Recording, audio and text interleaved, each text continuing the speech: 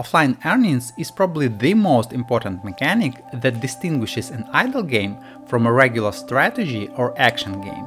It implies that as a player you continue to make progress in the game even if you're not actively playing, which is the essence of idle, right? But more importantly, it persists even when you close your browser, shut down your computer, or turn off your phone. This feature enhances an innate feeling, almost like an itch, compelling you to return to the game and check your progress. I first stumbled upon the concept of offline earnings in the Cookie Clicker game, and it blew my mind. Essentially, it made the game, which was already fun, much more engaging and addicting, making it almost impossible to resist. On the other hand, failing to implement an offline earnings mechanic into the game, which looks and feels like an idle, reduces its appeal to the player. For example, the game I recently reviewed, called Darkroom, despite being an absolutely awesome game overall, could definitely benefit from the implementation of an offline earnings mechanic. Hi there! For those of you who are new to this channel, I'm Yaroslav, an indie game developer from Ukraine, and today I'm gonna show you the process of implementation of an offline earnings mechanic into my game Get a Little Gold. In fact, offline earnings were the main thing I was working on over the last month. Now, before we delve into the implementation of an offline earnings mechanic in Get a Little Gold, let's first define how offline progress works in a nutshell. First and foremost, let's debunk the common misconception that when a player goes offline, the game continues running and calculating their progress somewhere on the server or in the cloud. I can confidently say that in the absolute majority of scenarios, it's simply not true. In most cases, what actually happens when a player goes offline is that the game stores the system time once the game is switched off, and then calculates the amount of time a player was offline when they turn the game on again. There's nothing easier than calculating how much gold you earned while being offline. When the game has access to the gold per second value and the number of seconds you were offline, it boils down to multiplying these two. That's exactly what I had been doing in the Flash version of the game, released more than 7 years ago. However, this approach has two major drawbacks that I'm trying to address while porting Get a Little Gold to Unity and mobile devices. First, it's extremely vulnerable for hacking. Since the game relies on the local times of the player's machine, it's incredibly easy for a player to manipulate their system time, instantly gaining hours, days, or even years worth of progress.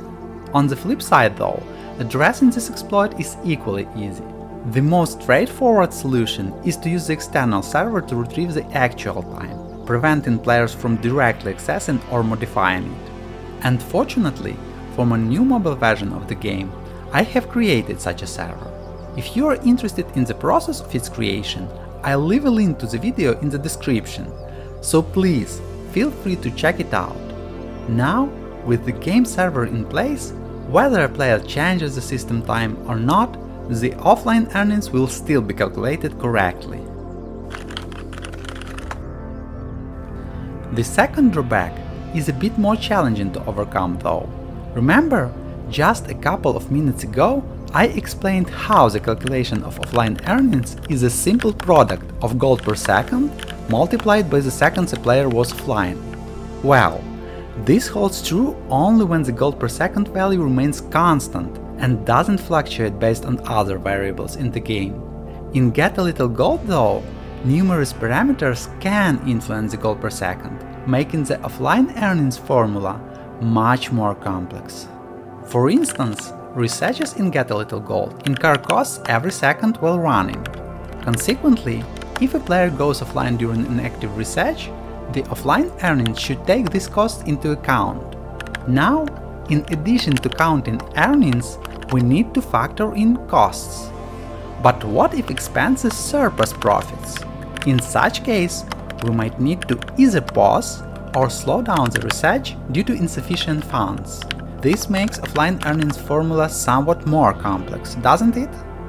But wait, we should also consider special power-ups from fallen crates that can temporarily boost the gold per second value.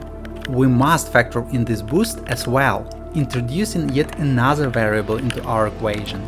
The more variables we introduce, the more sophisticated and complex our offline earnings formula becomes.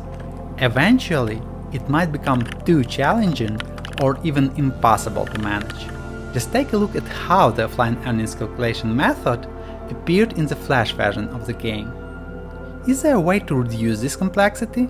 Well, in the new version of the game, instead of relying on an offline earnings formula, I'm now calculating the offline earnings in the same way they would be computed in the actual game. In other words, the game simulates the loop for the given number of seconds, executing exactly the same methods that would run during regular gameplay, excluding any graphic overhead. For instance, both the add gold and run research methods executed in the offline earnings calculation loop would be equally executed during actual gameplay. This approach simplifies the complexity of offline earnings calculations and considers every possible scenario that could happen in the game. The only downside is the speed of execution, as the offline earnings loop must run once for every second the player was offline. This means that if a player was offline for one day, the loop should be run more than 80,000 times. But while it does add up, even weeks worth of absence boil down to less than a second of calculation. So it seems that it would take years of players' absence before this issue becomes truly concerning. Now, with the offline earning system in place, I feel that I'm finally ready to launch the closed test for the game's followers. Although I still need some time to set up an actual server and test my custom server application, I hope to accomplish it in the next few weeks. If you're interested in becoming a tester, please join the Discord server. You'll find the link in the description down below. And don't forget to subscribe to this channel. For now though, have a great day, happy holidays, and I'll see you in the next video.